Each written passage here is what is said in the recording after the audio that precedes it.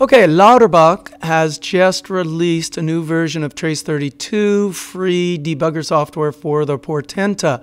If you go to that link and go way down to the bottom, you see the G uh, DB Arduino zip and notice it's the 13th of January 2021 and today is the 14th. So uh, let's download that and put it in some folder. Uh, not that folder. Uh, there's the download. We unzip it. If we go into that one, there's your Trace32 Arduino. And here we've got some bin files and some stuff. Now, the only thing of importance here is this license T32 file. It's not a .txt file, it's a T32 file. And if you go to their licensing spot, I'll have that on my GitHub. My GitHub about all this is there. I'll show it to you in a minute. But if we go have a look at a fake license, it basically is one long line. This is two licenses, so there are two of them. One long line of something that eventually has your email. Okay, so this is one license thing you would get back from uh, Lauterbach if you have a Portenta. This is the site that you request the license and they email you back um, license for that Portenta. You have to find out the serial number. And that's not hard to do. If we load up um, Arduino, if you go to Exano, if you go to Tools, Get Board Information will give you that ID number. Okay, so Trace32 Lauterbach um, will allow you to debug your Arduino Portenta, the fancy um, dual core Arduino. So uh, let's just look at my um, page that the link's up here. If you go way down to the bottom, uh, well, maybe not the bottom, but number 15 is the one we're talking about. Tracy presently testing. There's the license. There's the link. That link's actually kind of hard to find. Uh, I've done two videos already. This is the third video, and they've made it super easy to work with. Uh, those first videos, it was a little tricky, but we've been emailing and they fixed it up. Uh, then I'm going to do one with assembly language. So let's get going. Um, when you have installed your proper license, then we would go to bin. I'm on Windows, so we would open it up on Windows. And the key here is this Portenta H7 projects. Well, notice the first, and yeah, go through these demos, and I've done that on my other videos. Um, what I want to do is find my library, and I've called it Trace32, and there is the folder that's going to have my software. Now, let's just see, okay, if I go into the classic IDE, um, what we're doing is we're working with this one at the moment. It is the code copied from my site. Uh, quite simple. It uh, does a loop, lights the, well, let's run it. Now I could compile it and actually I will compile it from here first off. So we make sure we're on Portenta core. We make sure, ooh, that's interesting. Why hasn't it read my Portenta's there? We're, oh, it's flashing. I have to, I want it pulsing. That is not pulsing. Uh, that's kind of interesting. Let's try my other one. Um, I mess with these things and break stuff all the time. So see, that's pulsing. Now that it's pulsing, you got to click out of there, get back in, and there we go. So I'm going to fire this onto it. Typically, the normal way you would do things, the only difference is that I have these one, two, three, four lines. I've included thread debug. I have this, this, and this, which is all uh, in the Portenta section, thread debug. That basically shows it. I've just expanded it a little bit with some flashing LED and serial print. So first of all, now their example uses something called no debug, uh, break in setup. I prefer no break in setup, and I'll show you why. Uh, once my, mine's been uploaded, I can go to the right COM port. By the way, with this thread debug, you're going to have two. It's typically the higher one. And I can go read the serial monitor. Yeah, hi, and it's flashing each time it says hi and bye. And it's going really quickly because I don't want to mess things up, uh, slow things down when I'm in Trace 32. Okay, so Trace 32, what did we do? We selected the port. We come here, we double click there. That's a super important to give you the dates. And we could flash it, but it's already flashed. So what I'm going to do, I'm going to click there. It says reset. So I'm going to reset and go. Now, first of all, looks thoroughly confusing. Second, I want to go to the loop. So go to the main Arduino loop command, and there it is. And third, I want to get rid of all this assembly language, so I click on mode. Yay. There we are. There's the setup. There's the main, my main loop. And I would probably put a set debug point right there. And what that means I can do is I can now go and it does one loop. Okay, see, hi, bye. I can hit go again and do I have a debug point set up? Okay, for some reason it's taking twice, but uh, the basic concept. Let me just see. My debug, I've got false. What this is, is a little, um,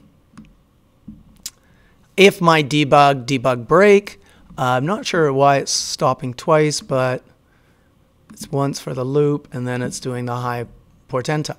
So this is the basic concept that you can now step through or step over. Step over tends to be a little more useful as it goes through, and that's the basic concept. Okay.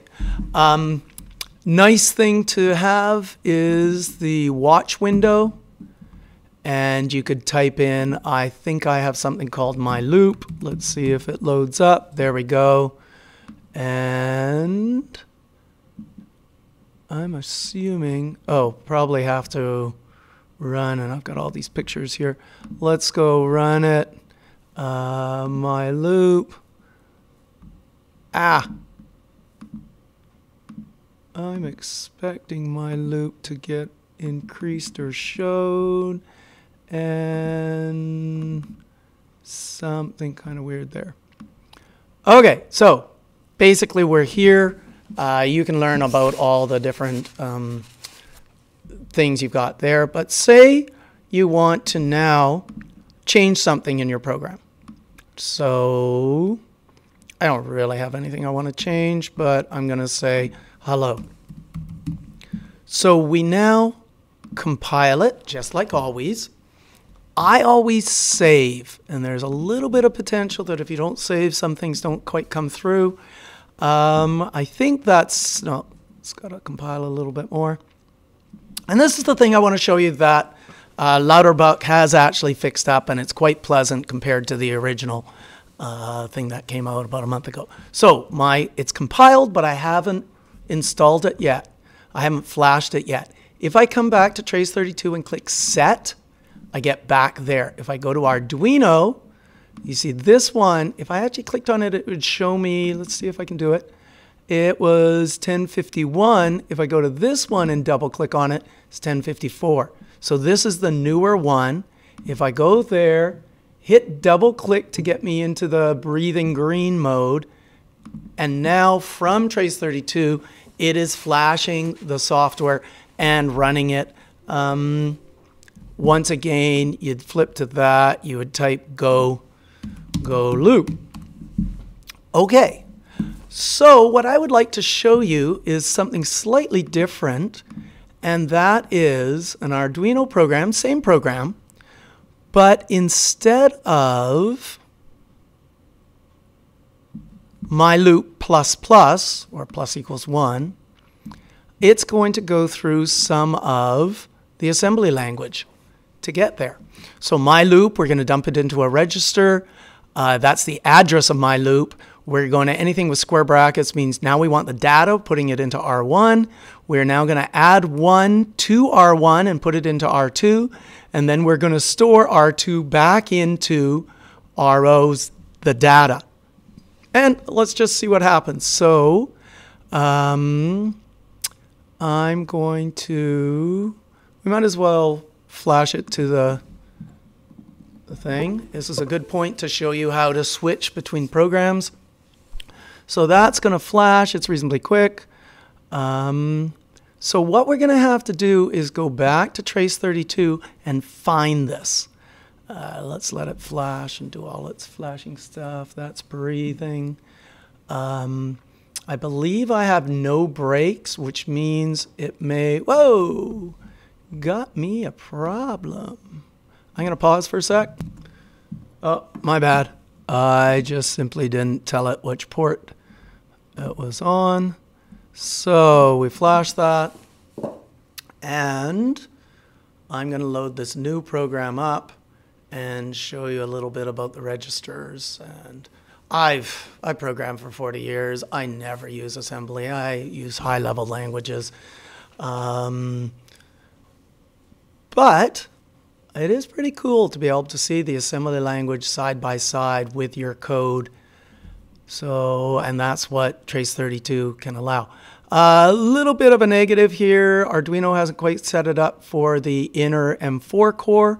I'm assuming that's coming. Um, it's not quite ready yet. So I want to go select my new folder. It's not that one. It's this one. I select the folder. That thing pops up. Uh, nothing has been shown in the current directory because it's still in the temporary. I have to double click on it. I don't need to load it. You'll notice this is hold on, held on blue. Uh, not quite why there, sure why.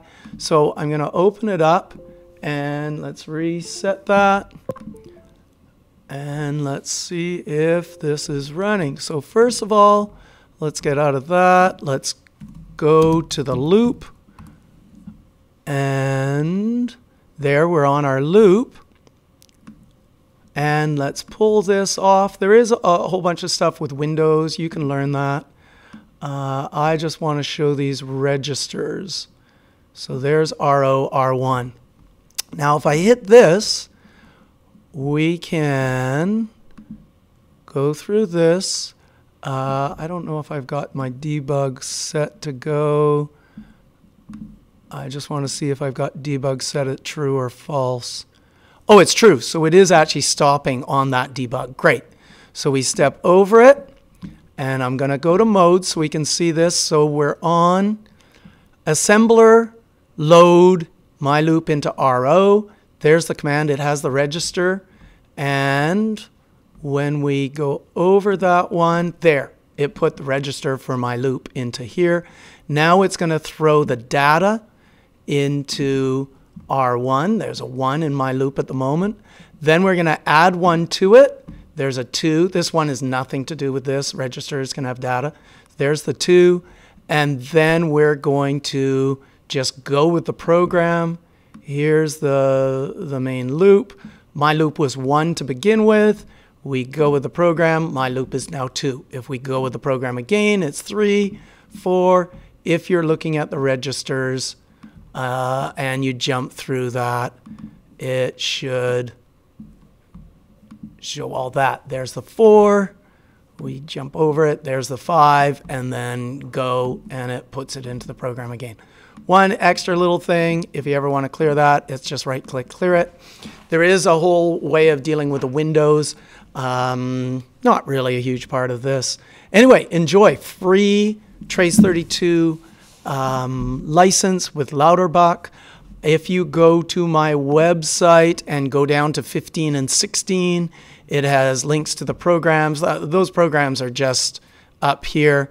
There's Trace32, 15, and 16. All kinds of other code to work with the Portenta. And good luck.